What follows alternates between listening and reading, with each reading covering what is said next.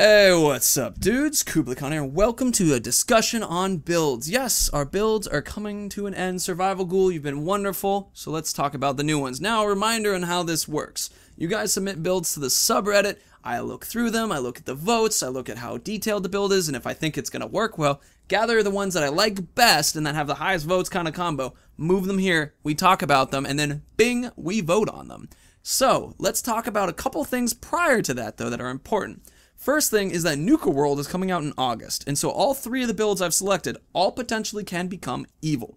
That's important because Nuka World has allowing us to be evil for the first time in the Fallout 4 kind of game. So, with that bit, I want these builds to be able to switch, or at least to dance along the lines of it. Second thing is that I would like to try to make whatever build we choose a Gen 2 synth, like Nick Valentine, or Dima even. So, well, whether that will affect the gameplay or whatnot, I'm not sure. I haven't actually done the experiments with it yet, but it would be cool to do that. And I'll somehow incorporate that into the character, or if it's whatever, it'll just be a Gen 2 synth and it'll be fun. Still, it's something that I wanted to include and mention to y'all. Alright, so now we're going to do the builds next. The first one is Cricket or Sugar Bombed build, as it's described in the subreddit, which this is a character that's all about automatic weapons and explosions, running around the battlefield and shooting people that way. A very high energy individual.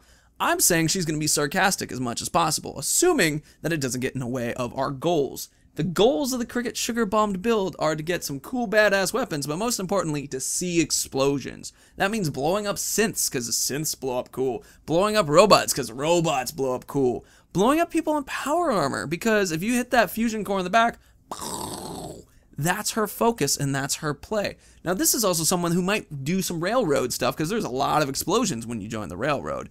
And this is a character who, when going to Far Harbor, would blow up the children of Atom. That's her focus, and that's what she likes to do, is finding these massive explosions. Now, she's not necessarily good or evil, she's just very much about let's see the booms, and that's her kind of thing. So when Nuka World comes around, we'll see what kind of person she becomes. Second build, this is someone I'm kind of fondly calling the Zenyatta build, which is a character from Overwatch. And this is a person who has heavy weapons, and they're going to use miniguns, rocket launchers, fat mans. Sounds weird when said like that. And this person will be using these big weapons and collecting them. Similar to how the ghoul collected fusion cores, she's going to collect heavy weapons. We're going to put them up on racks so everybody can look at them and they will be our awesome things that we've won. And we carry them back and put them up on places. Now, this character is also going to be pounding the shit out of things with her fists because when you just do heavy weapons, I actually don't know how available ammo is or how heavy it will be because a 12 pound mini nuke is insane.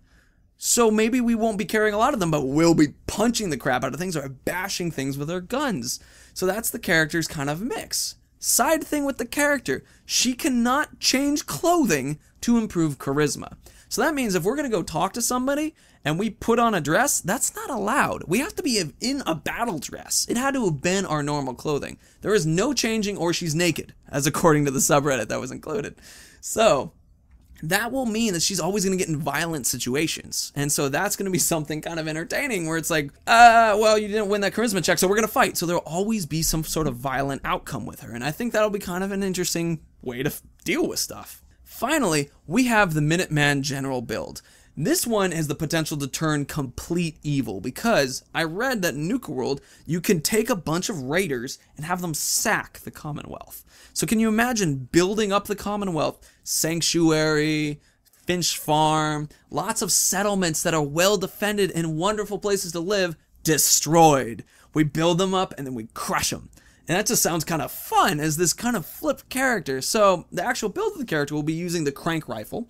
And then there will also be using melee weapons because I think a general with a sword is a very dramatic looking thing. So instead of not like a baseball bat, unless it's hilarious baseball bat, but like a sword slicing around and then crank, crank, crank, pew, I think that's a cool mix of character stuff. So those are the three builds that we have right now. Remember, we got Cricket build, fast, hyperactive, sarcastic character, shoots a bunch of people with explosions, trying to make things go boom as her main course. Zenyatta character, heavy weapons, punching people, collecting big weapons, cannot change out of sexy armor clothes.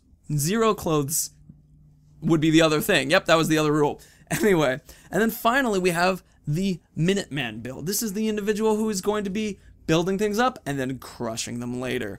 Those are our three builds. Remember to vote a Got it. Got it.